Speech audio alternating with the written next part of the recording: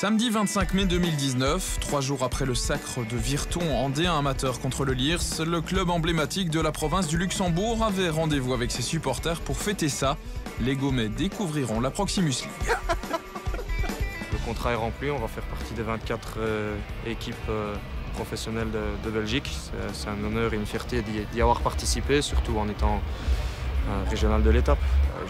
on a envie de donner aux gens de, ne plus prendre les abonnements par exemple au Standard, à Anderlecht ou quoi que ce soit, mais de venir maintenant à Virton. Ça va prendre du temps, ça, sera, ça passera surtout par nos, prestations, mais je suis sûr que sur le long terme, on peut vraiment avoir une belle affluence et un, un beau public ici à Virton. Il faut savoir que le club de Virton était en proie à de grandes difficultés financières euh, depuis plusieurs saisons. Et donc euh, euh, Monsieur Becca a eu le courage et le mérite de reprendre le club. On a reconstruit tout, on a construit une équipe, on a construit un staff. Et puis aussi on a fédéré derrière nous des supporters, des bénévoles. Et puis ben voilà, on est passé un peu par toutes les sensations cette saison. Et puis finalement la réussite est venue avec le troisième entraîneur Samuel Petit.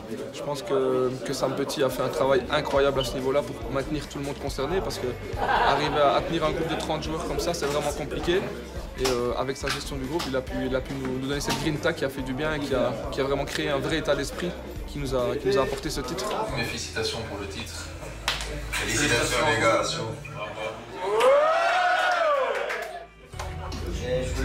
Féliciter pour la, pour la belle saison et ben, pour la montée en D1B.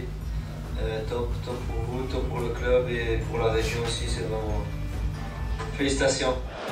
Alors le, côté positif aussi de, tout ce succès, de ce titre, bah, c'est qu'il y a des garçons bah, qui ont une attache réelle ici à Virton. Nous avons Anthony Maurice, nous avons Guillaume François, c'est des symboles, c'est des joueurs qui ont connu le haut niveau, la première division et qui sont tous passés par la province de Luxembourg, voire même Virton. Donc c'était essentiel de, de, les avoir dans notre projet. Prenez du kiff parce que je pense que des moments comme ça, il n'y en a pas beaucoup dans une carrière.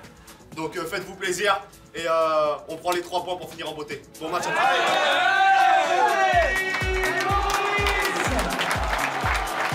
Le soulier vert de la saison, les amis Quand c'est Virton qui vient avec un projet pareil, le club de, mes origines, bah, ça donne envie de, le jouer le pari. Moi j'ai joué en jeune ici, je venais voir les matchs quand Virton était en D2. Et voilà, euh, en tant que joueur, j'ai toujours voulu être là sur le terrain et ça pourra peut-être euh, se passer l'année prochaine. Voilà, c'est quelque chose d'exceptionnel. Pour les gens qui ne connaissent pas, c'est quoi les, caractéristiques des, des et, de la région? Je pense qu'il y en a peut-être qui vont me haïr, mais les Gomais et les Ardennes ne sont pas forcément différents.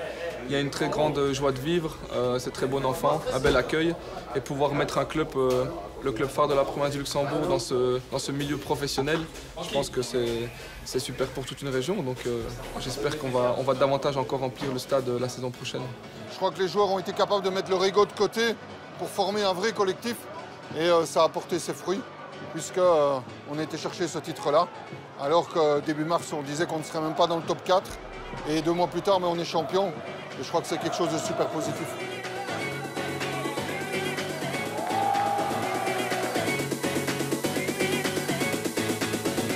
Les Virtonais, ils peuvent rêver de quoi maintenant, selon vous? J'espère qu'ils rêvent, comme moi, d'essayer de, garder l'équipe en, en D1B. Il faut agrandir vraiment petit à petit Rome ne s'est pas construit en 24 heures. M. Becca, qui est un homme ambitieux, il a toujours clamé qu'il était capable d'emmener le club en D1A. Je pense vraiment qu'il en est capable, qu'il a les moyens de le faire. Après, il ne va pas se montrer trop euh, pressant. Euh, ce ne sera pas pour l'année prochaine, c'est une chose qui est sûre. Mais il faut se stabiliser l'année prochaine. Pourquoi pas essayer de jouer les quatre premières places et puis après, être capable d'aller chercher le titre la saison suivante, ça ce serait positif.